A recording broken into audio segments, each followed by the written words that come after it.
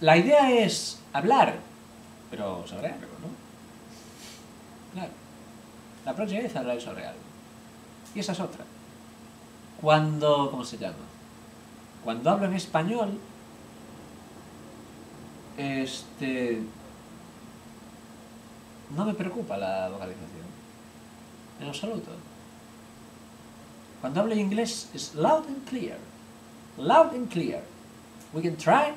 I'm speaking English and you understand it. If you can understand English, you understand everything I'm saying because I'm trying to make you understand me and I'm trying to uh,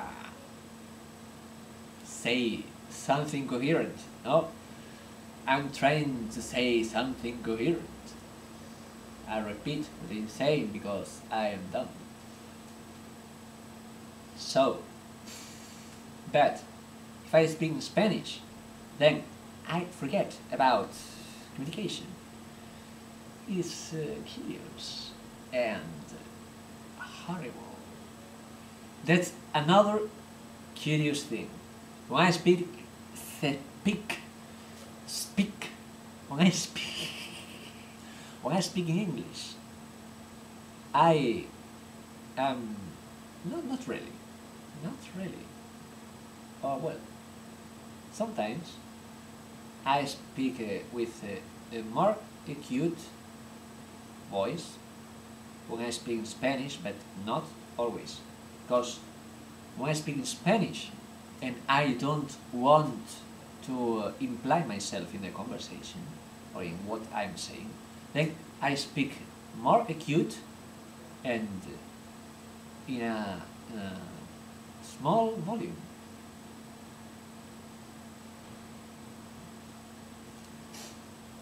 Entonces, ¿qué debería hacer?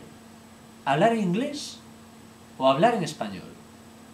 O hablar... No, en esperanto no, porque no sé. En japonés es difícil. Tendría que escribir primero lo que quiero decir. Creo que ya viene alguien, con lo cual tenemos que cortar, sintiéndolo mucho. A no ser que nos coloquemos el fantasma. Pero aún así se oirá el, abrir la puerta y toda la historia. Pues eso. Hablar en inglés, hablar en español.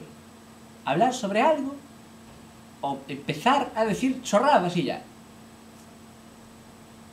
No sé.